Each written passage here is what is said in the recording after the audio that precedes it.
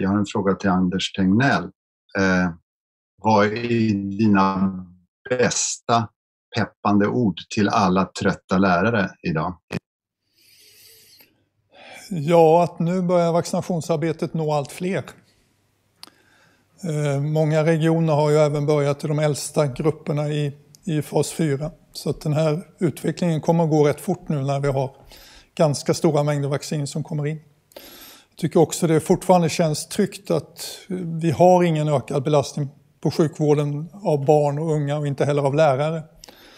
Jag kan förstå oron men den, vi ser inga tecken på att vi har en allvarligare sjukdomsbild i de här grupperna även om vi har kanske en lite större spridning nu än vad vi hade tidigare.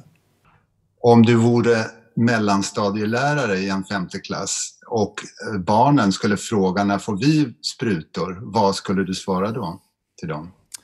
Ja, att först måste vi veta att vaccinet är säkert också för den gruppen. Eh, sådana studier pågår.